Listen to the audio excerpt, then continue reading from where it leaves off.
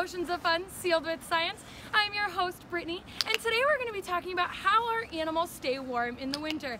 And who better to join us than our almost 350 pound, subdominant 12 year old male California sea lion, Diego.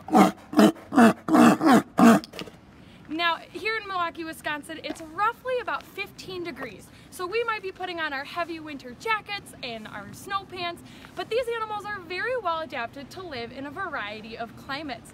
They possess a very thick layer of blubber. Seals and sea lions have blubber that's four to six inches thick.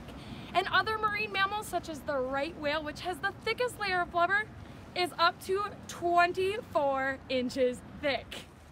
Male sea lions, like Diego, will carry that thick layer of blubber on their neck all year round, but it does fill out the rest of their body to help keep them nice and toasty warm.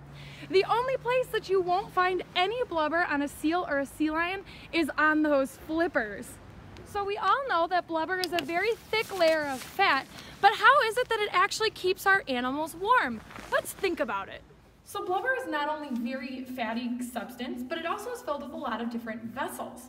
So I have a tub of water here and I also have a glove that is full of vegetable shortening. And vegetable shortening is a great way to show off how blubber works because it is a fatty substance as well. So if I were to take my bare hand and put it in this cold water, I wouldn't actually be able to keep it in here very long because it is very cold. But with this vegetable shortening glove, I can put it in here and keep it in here for long periods of time. This is how blubber works as well, because that fatty substance helps keep in warm and keep out the cold. The blood vessels that are also in that layer of blubber shrink when the seals and sea lions enter the water, helping to trap in that heat as well. Thank you guys so much for watching Oceans of Fun Sealed with Science. We hope you guys stay as warm as our animals with their toasty warm blubber. Make sure you just subscribe to our channel so you can get notifications on when we post on Facebook, Twitter, and Instagram. Thanks guys!